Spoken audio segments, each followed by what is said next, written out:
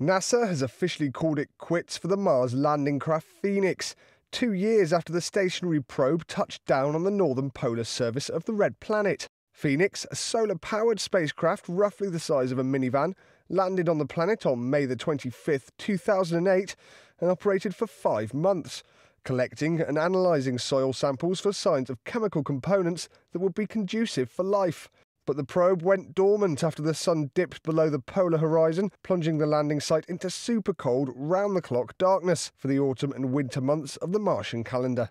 Scientists at the Jet Propulsion Laboratory in California didn't expect Phoenix to survive the polar Martian winter intact, and the failure of the Mars Odyssey orbiter to make radio contact with the probe after recently flying over its landing site 61 times confirmed that the Phoenix was incapable of being revived.